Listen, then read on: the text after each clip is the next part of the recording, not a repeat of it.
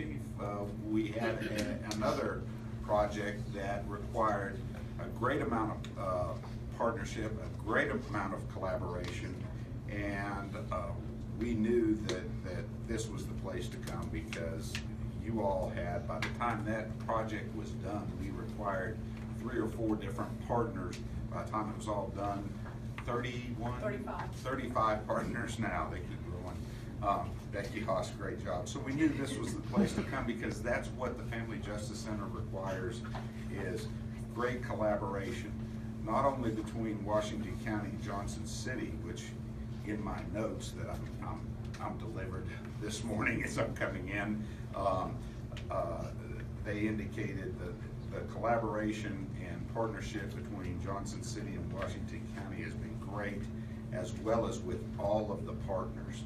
Heather has been very diligent in making sure that I understand now what a family justice. Um, I, uh, today, I, I do especially, however, want to, uh, to thank two groups.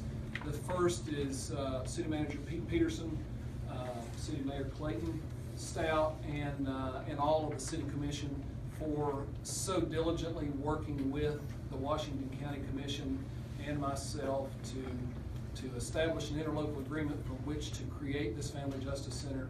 Uh, I really appreciate the partnership that, uh, that we had, uh, that, that came together to make this uh, a reality.